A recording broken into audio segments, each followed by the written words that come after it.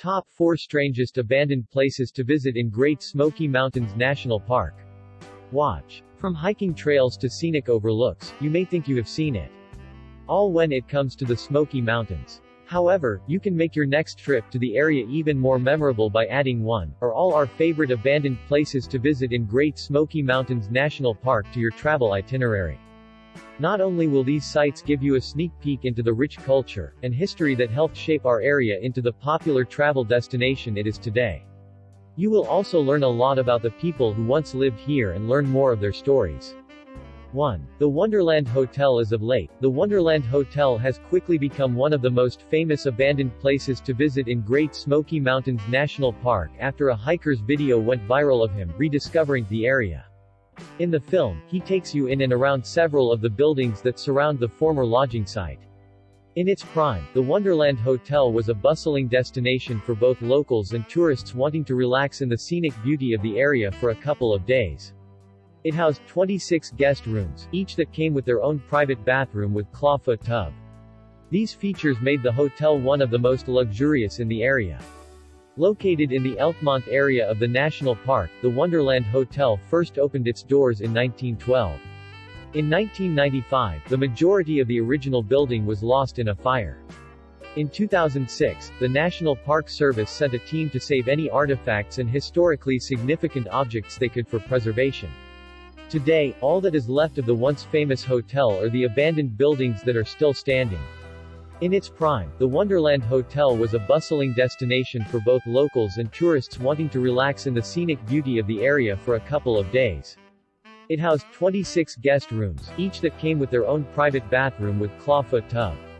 These features made the hotel one of the most luxurious in the area. Located in the Elkmont area of the national park, the Wonderland Hotel first opened its doors in 1912.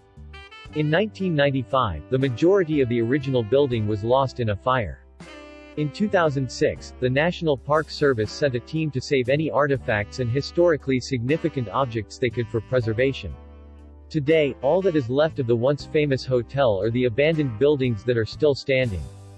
2. Cades Cove. Drawing over 2 million visitors a year, we will admit that it is a bit of a stretch to call Cades Cove abandoned. However, for the purposes of this list, we are not talking about the area itself as much as we are the historic home sites and churches where people once lived and prayed.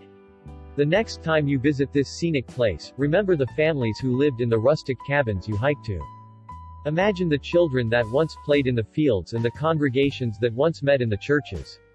Once you find out about the secrets of Cades Cove, you will find a whole new appreciation for the area, more so than just the natural beauty that it is known for. 3. Little Greenbrier. Located near the Metcalf Bottoms picnic area, Little Greenbrier is one of our favorite abandoned places to visit in Great Smoky Mountains National Park because of how unique the area is. Here, you can find both an old school and the former home of the Walker sisters, some of the last remaining residents of what is now the national park. The Little Greenbrier School was much more than a school. It was a place of learning as well as a place of worship for the primitive Baptist Church. Between 1882 and 1936, it educated a countless number of students and employed nearly 50 teachers. 4. Civilian Conservation Corps Camp Kephart Prong Trail. In case you aren't familiar, the Civilian Conservation Corps was a group of young men from the area who worked to build the hiking trails in the Great Smoky Mountains National Park. The organization was created by President Franklin D. Roosevelt under his New Deal program that provided unskilled manual labor jobs to aid in the conservation and development in rural areas. In addition to helping create the park that we know and love today, the CCC also helped families who struggled to find work during the Great Depression. Today, you can see remnants of one of the old CCC camps when you hike along the Kephart Prong Trail.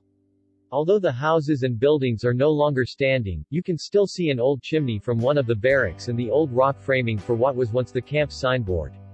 Do you know of any abandoned places to visit in Great Smoky Mountains National Park that we missed on our list? Let us know in the comments.